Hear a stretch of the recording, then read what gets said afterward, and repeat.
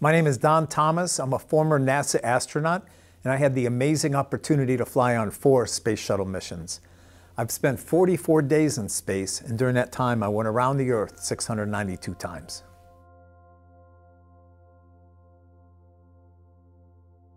My highlights, uh, I flew in space four times, and uh, three of those were on Space Shuttle Columbia, one was on Discovery, and I was an astronaut for 17 years, but I only spent 44 days in space. So most of the time is spent training, preparing for the mission, but it's all, all of that is so much fun.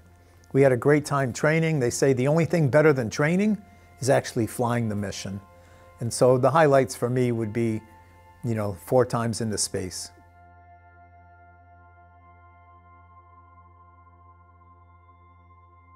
They train us for everything and we try to simulate everything, zero gravity, and we train on how to operate the food station and, and, we know what all the switches and the computers do.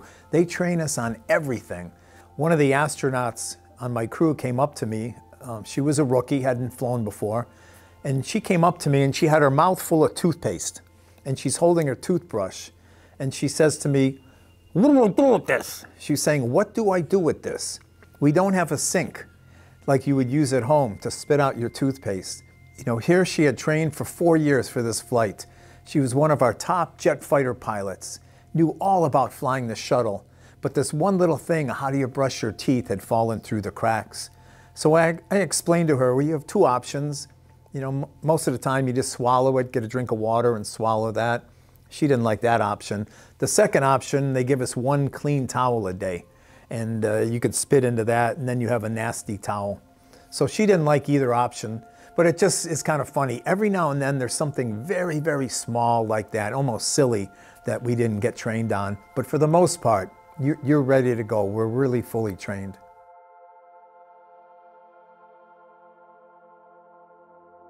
I also spent about 30 or 40 hours training on looking at the Earth. They would show us pictures of what the Earth looks like from space. So I thought, I know what it's going to look like. But when I got to the window on my first flight and I looked out and saw the Earth, I just went, oh, you gasp, because they, they couldn't prepare me for that how beautiful the earth is when you see it with your own eye instead of a photograph. There's no way to prepare somebody. And the first time any astronaut looks out the window, you'll hear that gasp. And what struck me that first time I saw it was seeing the little thin blue line going around the Earth, which is our atmosphere. Here on Earth, on a sunny day, we look up at that blue sky and it looks like it goes on forever and ever. From space, we're seeing it edge on, and it looks just like a paper thin layer and it's glowing blue, like a blue fluorescent light. And right up against that blue atmosphere is the blackness of space. And it was a darker black color than I'd ever seen before. You know, I've been caving and we shut off our lights and that should be pitch black, but this was even darker than that. And the contrast between that pitch black sky and that glowing layer of atmosphere, you know, blue line around the planet, is just striking and takes your breath away.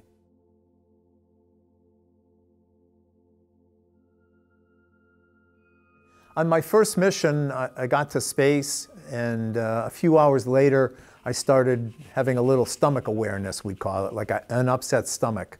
And about a third of the astronauts will get a little um, sick from that. We call it space sickness. And it's just like seasick, car sick, air sick, but it's unrelated. If you get car sick or air sick on Earth, you could be fine in space. And nobody knows how, how you're going to do until you get up there. So on my first mission, I had a little stomach upset. I didn't want to eat anything the first day. I didn't throw up, but I thought I'm close to that. I didn't want to try eating anything. The next morning, I woke up and I felt fine. In all subsequent missions, my third, fourth mission, as soon as I got to space, I felt fine. But I've been up there with people that were so sick, they couldn't do any useful work. You know, they would just be kind of floating there. And if that happens to somebody, and it happens every now and then, the rest of us just pitch in. What are you working on? Let me help you. Get them a cold washcloth maybe to help make them feel better. And we just pitch in as a team. Uh, and typically after a day or two, everybody's feeling good.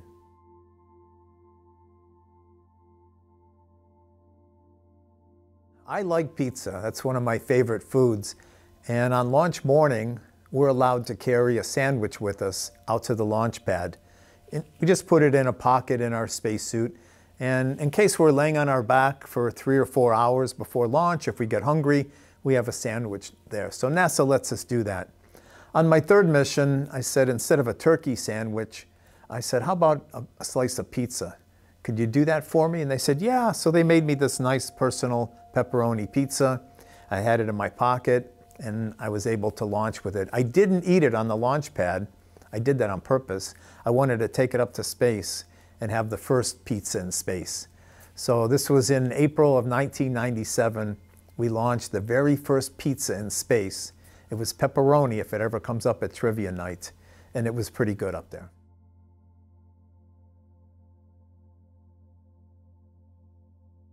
And one of my favorite experiments was a tank of baby jellyfish. And jellyfish, they squirt as they swim through the water. Everybody's seen that. And what baby jellyfish will do, they'll squirt to the top of their tank, they open their mouth, and with their mouth wide open in gravity, they fall and they feed. So they squirt to the top, open their mouth, and feed. Squirt to the top, open their mouth, and feed. In space, they would squirt to the top, open their mouth, and nothing would happen. They have their mouth open, without gravity, they're not falling, there's no food coming in. And these little baby jellyfish had to learn new swimming behaviors just so that they could eat in space. And to watch a small animal like a, a baby jellyfish adapting to zero gravity was just fascinating because astronauts have to adapt to zero gravity. And here we're, we're studying how other creatures do that as well. Yes, space is a, a great place for us to do research because we can do things up there that we can't here on Earth. And many of the experiments we do in space have benefits for us on Earth. We're trying to grow some new pharmaceutical drugs and, and engineer them, understand their crystal structure better so that we can manufacture these. And maybe in the future, you know, they'll be able to help cure cancer and other diseases. Uh, we also do a lot of experiments on the astronauts themselves. Astronauts lose our muscle strength, we lose our bone density in space, and we do a lot of studies on that uh, if we can understand how to minimize bone loss with the astronauts, maybe we can help our senior citizens, you know, people with osteoporosis, we can help them. And also with muscle loss too. We're doing more and more experiments trying to understand the mechanisms with that that may have a lot of benefit here on Earth.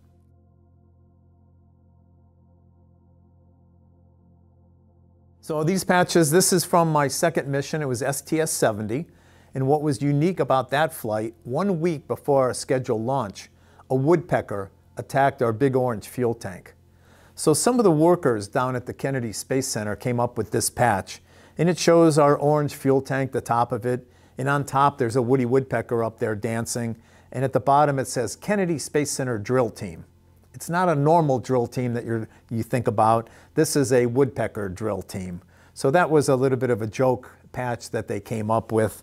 When the woodpecker attacked the, the space shuttle, NASA had to figure out how to keep the woodpeckers from doing it again.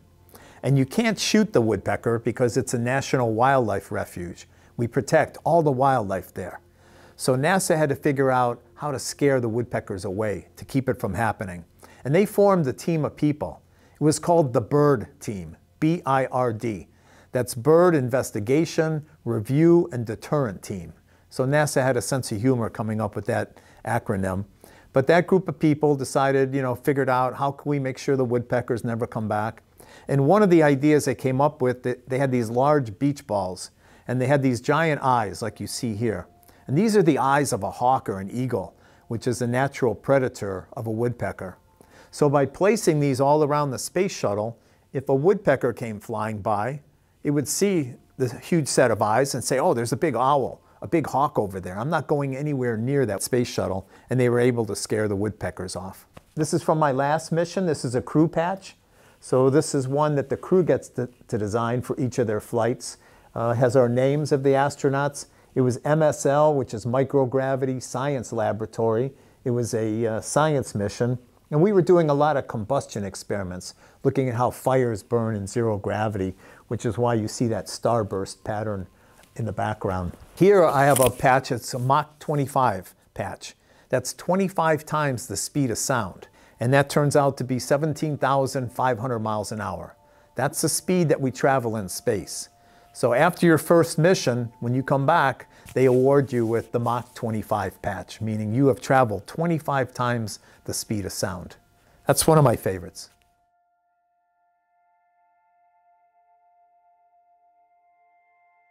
And we're just a few short years from the very first woman setting foot on the moon. And for me, that, that's really exciting. The other thing I'm looking forward to is a little further out. About 20 years from now, we hope to land astronauts on the surface of Mars. And the astronauts going to Mars aren't this generation. I'm too old for that. In 20 years, I'll be 89, and there's no way they send me to Mars. The astronauts going to Mars are the young students that we have visiting here today. And that's a generation 20 years from now that will be the first to set foot on Mars. And we call them the Mars generation. And that's why I'm really excited to be here today, to be meeting your young students with their wide eyes and, and the sparkle in their eyes, just like I had when I was six years old. I see that same look in their eye here today. And I'm looking forward to them growing up and then maybe being that first person on Mars. A number of the students I saw today, I said, invite me to your launch. I want to be there for that. The Space Center here is just such a, plays such an important role in, in STEM education, science, technology, engineering, and math, for young students to come here and, and get inspired, get excited about uh, maybe going to space, going to the moon, going to Mars, or just being an engineer or scientist in the future. This is the critical role that the Space Center does here. I saw many young students here today, and they're all excited to be here. You know, looking at the rockets and the spacesuits, and, and just learning about space. They're really anxious to learn about it. And just that role of inspiration to get them ins inspired and to get them thinking about other careers, you know, that they can be a part of in the future. That's a really valuable role here.